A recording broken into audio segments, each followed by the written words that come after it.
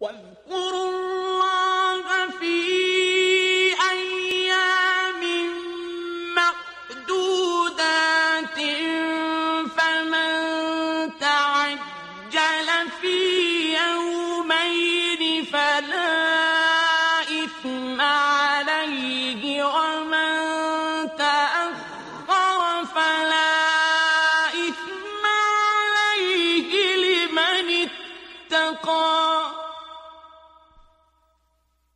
واتقوا الله واعلموا أنكم إليه تحشرون.